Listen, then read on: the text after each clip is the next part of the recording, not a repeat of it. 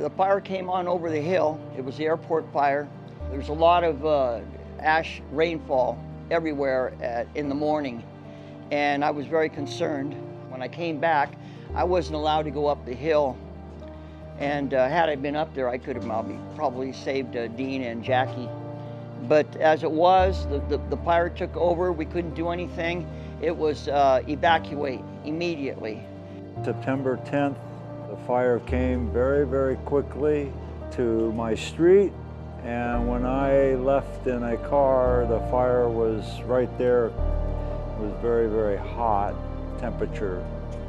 But I got out with my five dogs.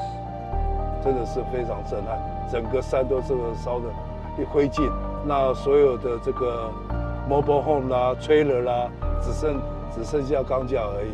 There were so many fires burning all over Southern California. We all know that fires can happen, but we never expect it's going to happen to us.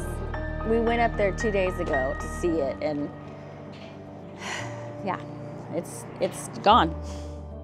整个 area 是总共有两千三百个 acre，那截至目前呢，已经有百分之五十一被控制啊。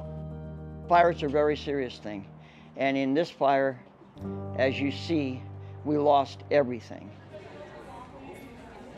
We are here to helping the victim from the fire disaster. So they will come over here so we can talk to them, and then we also introduce them about Tzu Chi, and uh, depend on their situation, um, then we either can give them cash card and also the blankets.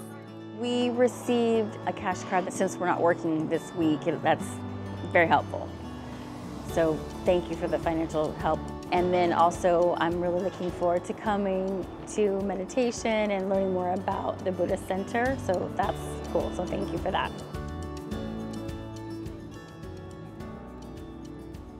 I've been working with Hope since 2010. This is my third Hope dog. And every disaster I've ever been to, you guys have been there. But I'm always impressed with you guys and how you work. And you're always so warm and friendly. And I think we work well together because sometimes when people are waiting in long lines, they get a little bit disgruntled. But between the dogs and you guys singing your songs with them, they get in a much better mood. we got clothes, we got food, we got some money, we got compassion, a lot of help. Life goes on and it'll go on. Thank you very much. God bless you.